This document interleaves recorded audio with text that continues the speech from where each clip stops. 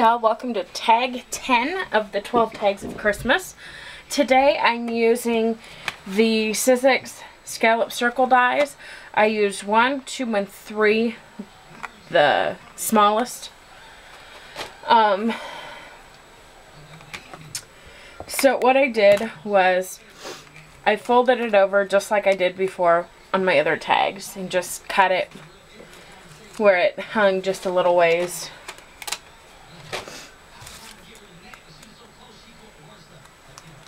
see. You leave just a little gap on your fold and then it won't cut completely into. And then I went ahead and cut another circle that will fit right. And then the next size smaller, I cut a little piece of pattern paper and you know what, instead of using these tiny ones like I was going to, I think I'm going to use a circle punch. Okay. To give myself a little bit more room for the to and from. I'm going to punch, go ahead and punch one just to make sure that it's going to fit here. Wow, that fits. That's about the same size as those little ones in it.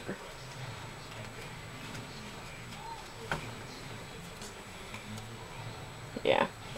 So let's go up one more, but I think that's going to be too big.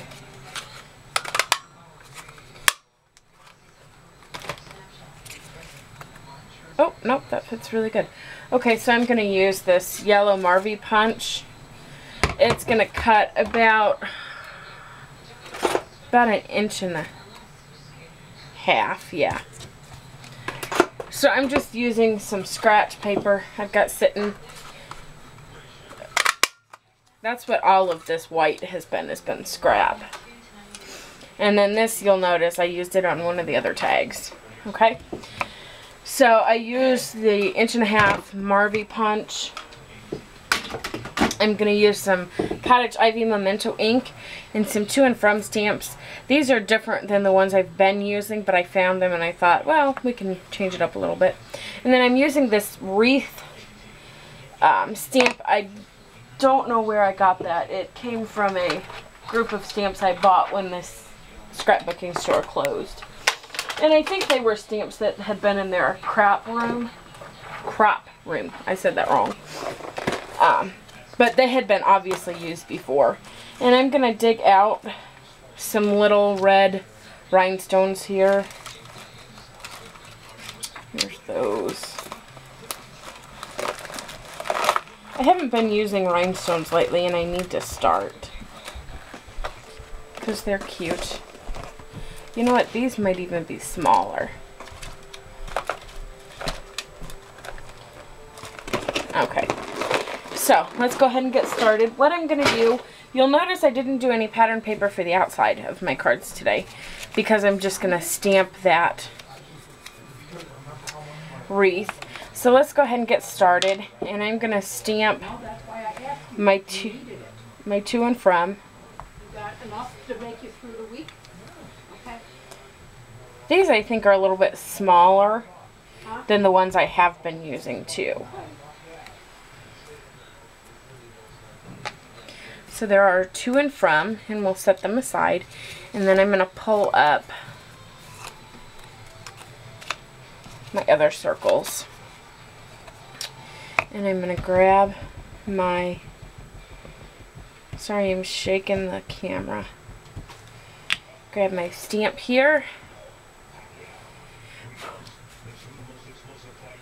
And I'm just going to, I think I better stand up and do this. There we go.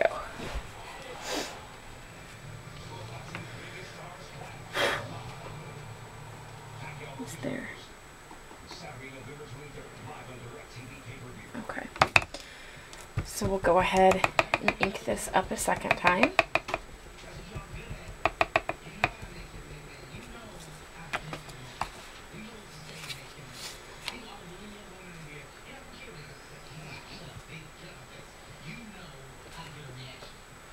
There we go. And I'm going to set these aside. And I'm going to pull that out of the way. And I'm going to move these for a second. And I'm going to go ahead and put these together before I put the rhinestones on. And I'm just using some snail adhesive here.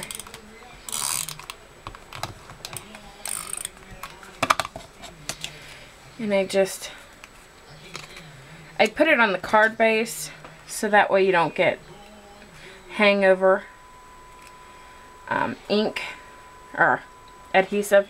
And you just line it up and put a little pressure on it.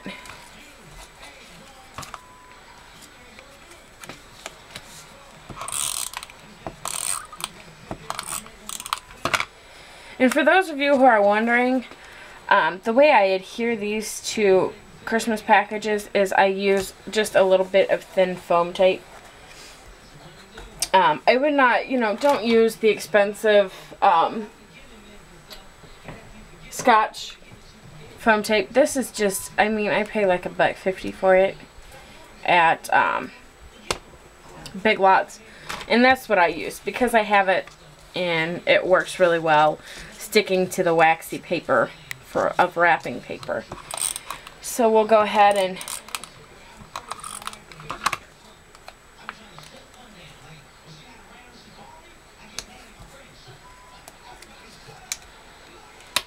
that's I got one spot I missed.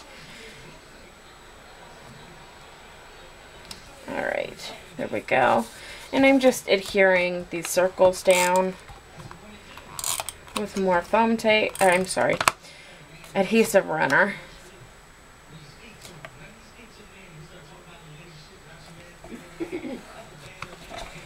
And I've got one spot here that needs some tape.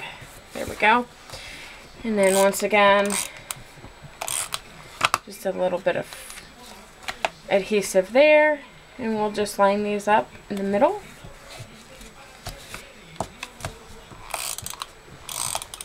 Making these tags is an easy way to use your scraps too. In the center.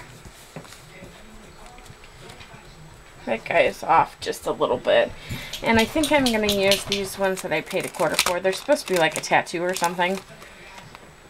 It's left over from 4th of July. I'm going to grab a pair of tweezers here.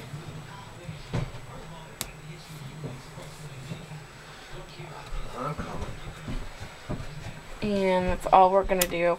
Whoops. I shot that guy. I'm just going to put, I'm not going to do them on all of the berries because that would take a ton of gems.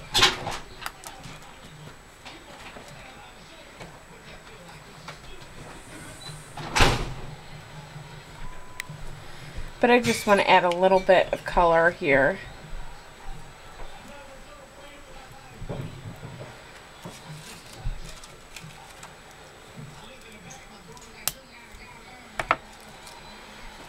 And I'm just going to grab a couple of these little ones.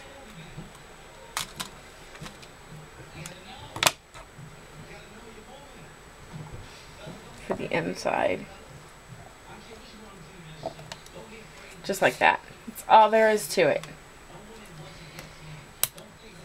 You could use stickles, you could use um, Viva Pearl pens, you could use liquid pearls,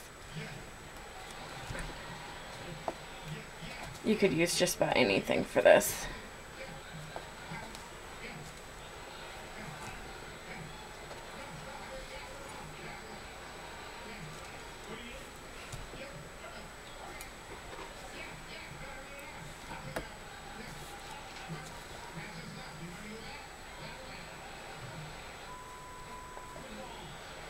Let's do that one. There we go.